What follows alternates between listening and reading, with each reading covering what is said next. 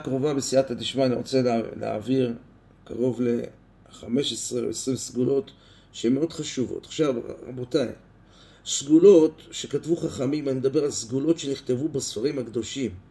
הרב כדורי, הרב חיים פלאג'י, סגולות קדושות, לא שטויות שממציאים. אז הסגולות האלה, רבותיי היקרים, חלק מהם שייכים לשורש מסוים של נשמות, וסגולות אחרות ששייכים לשורש נשמות של, אה, שורש נשמות אחרות. לכן אדם, אל יתייאש בסגולה. נתנו לך סגולה, עשית אותה 40 יום, ראית לא הצלחת? תעבור הלאה. אנחנו בעזרת השם ניתן גם סגולות לגבי חתונות, כן? לגבי, איך אומרים? לגבי שידוכים, שידוכים, כן? כן, שהשם מזווק זיווגים, אבל יש, אפשר לפעמים על ידי סגולה למהר ולהצליח בעניין של השידוך.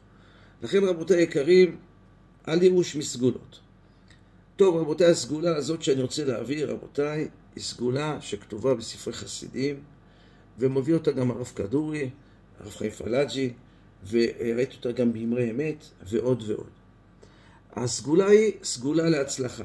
אדם עכשיו רוצה, בבוקר ברוך השם יש לו עסק, הוא רוצה להצליח, כל יום יגיד את הסגולה הזאת.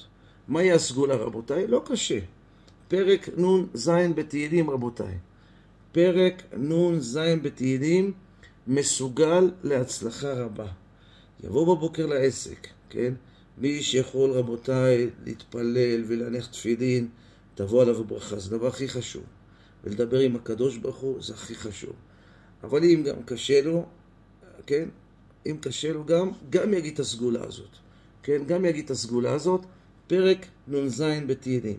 הגעת לעסק, הגעת לעסק שלך, הגעת לעסק, שב שתי דקות, תעשה לך קפה, לפני שאתה, כן, איך אומרים?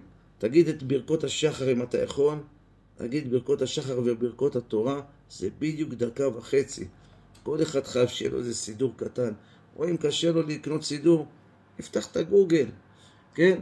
תראה מה זה ברכות השחר, יגיד ברכות השחר ויגיד פרק נ"ז בתהילים. למנצח על תשחט לדוד מכתם ועל זה הדרך רבותיי.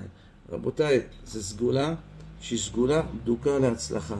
כדאי מאוד, מאוד מאוד, לאחר הקריאה בפרק תהילים, להגיד יהי רצון מפניך שאני אצליח בעסקים היום, ואני אומר לכם, אם אדם עושה את זה, כן, יכול להיות שבהתחלה זה לא יתפוס, אחרי כמה ימים זה מתחיל לתפוס,